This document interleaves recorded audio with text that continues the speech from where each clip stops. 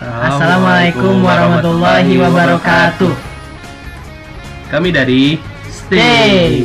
Nah, eh, perkenalkan perkenalkan diri kami dulu. Nama saya Fadil Raffi, NIM 1651439. Sama saya Putut Dewantoro, NIM 1651429. Nah, pada kesempatan kali ini kami akan memperlihatkan sebuah masterpiece yang telah kami buat bersama-sama. Apa?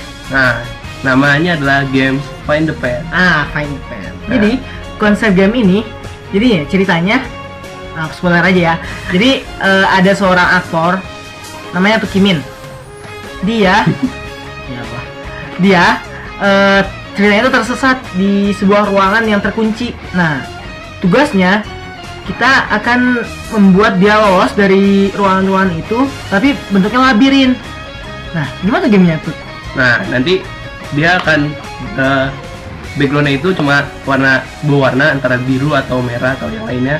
Nah, si player itu harus eh, menelusuri jalan-jalan seperti labirin. Hmm. Cuman dia nggak tahu gimana jalannya, gimana bentuk jalannya.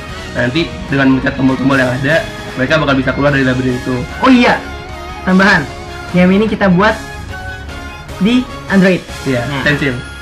Oh iya, Jangan pakai kita software. pakai stencil. Nah, mendingan langsung lihat aja yuk. Ayo. Sip. depan atau splash screen dari Find the Pet. Mainin dong. Nah, ini ada sekilas cerita kenapa dia bisa terus Bacain nggak? Baca sendiri ya. Nah, ini gamesnya. Waduh. Warnanya sama ya. Gimana cara mainnya? Nah, kita tinggal mencari jalan yang tepat agar dia bisa Keluar dari, keluar dari ruangan ini sih.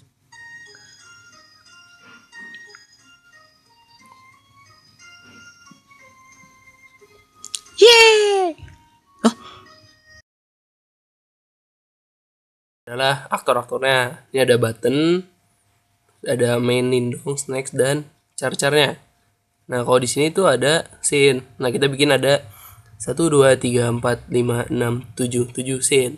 Ya, ini ada eh, cerita, ini scene cerita, ini scene ending. Nah, nanti kalau kalian berhasil kalian bakal nemu kayak gini ya. Jadi berdoa aja ya biar sampai nemu yang Nah, gituan. ini ada animasi-animasi dari cara jalannya. Nah, jadi jadi dia nggak statis ya. Waktu Ya. dia jalan dia gerak kayak jalan sendiri. Ya,